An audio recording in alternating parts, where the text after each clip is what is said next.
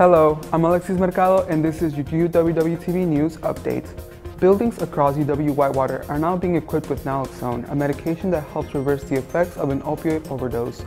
Naloxone, known widely by the brand name Narcan, is an FDA-approved medication that can rapidly and temporarily reverse an opioid overdose from heroin, synthetic opioids like fentanyl, and prescription pain relievers like oxycodone and morphine.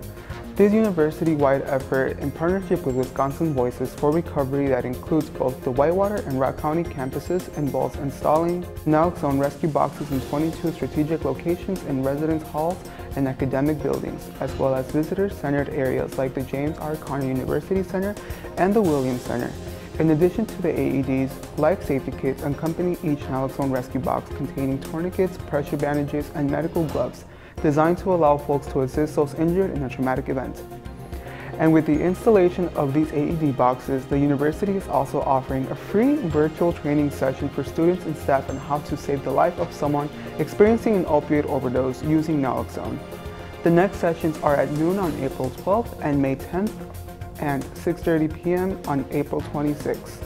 And we'll have more updates after a quick break. We'd love to show you what it's like to be a Warhawk. Come on!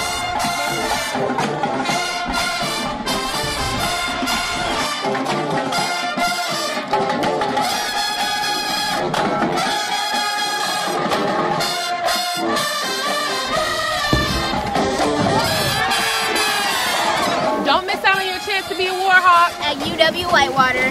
You belong here.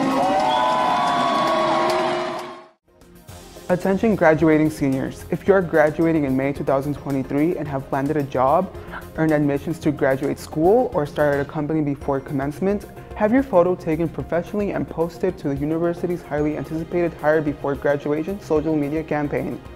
No appointment is needed, but individuals will be photographed on a first-come, first-served basis. The event, which takes place in the University Center, room 275, will take from 7 a.m. to noon on April 27th, 2.30 p.m. to 6.30 p.m. on May 2nd, and from 11 a.m. to 3 p.m. on May 3rd. With Earth Day on April 22nd, UW Whitewater is groovy to be green throughout the month of April.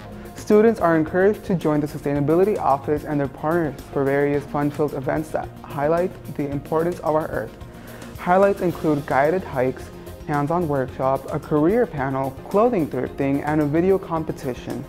This year, a variety of events will be held in both in-person and hybrid formats.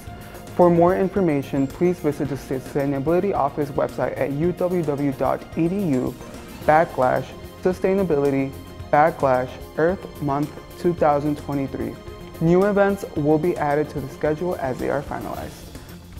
For more updates, check us out at uwwtv.org. I'm Alexis Mercado, and this has been your news update on UWWTV.